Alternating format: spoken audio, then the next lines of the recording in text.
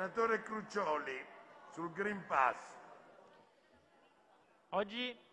centinaia di migliaia di lavoratori con più di 50 anni non potranno andare a lavorare e saranno lasciati senza stipendio. Si aggiungono alle centinaia di migliaia di lavoratori del comparto sanitario, della scuola e della sicurezza che già da mesi non possono lavorare, sono sospesi del lavoro e sono senza, e sono senza stipendio. Inoltre oggi anche dei nostri colleghi, sia qui al Senato che alla Camera, come tanti altri lavoratori, non possono esercitare le loro funzioni. Mi riferisco in particolare alla Camera, al,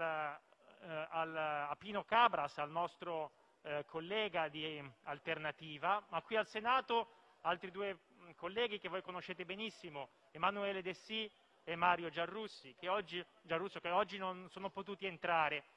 Ecco, io di questo vi voglio, vi voglio parlare, vi voglio invitare, vi voglio far riflettere su questo. Oggi l'intero Paese è meno libero e questo Parlamento è sicuramente impoverito perché non avere qui oggi per un provvedimento governativo ancora non convertito il divieto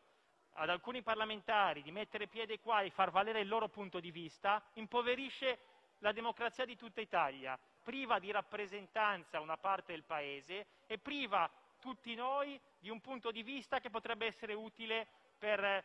prendere le decisioni giuste. Ed è per questo che io vi vi invito a riflettere e vi dico che il sottoscritto, insieme a tutti i colleghi della componente del misto di opposizione, faremo tutto ciò che è possibile per far venir meno queste norme liberticide, queste norme che dividono il Paese, lo impoveriscono e non passerà giorno senza che noi vi ricorderemo tutto questo.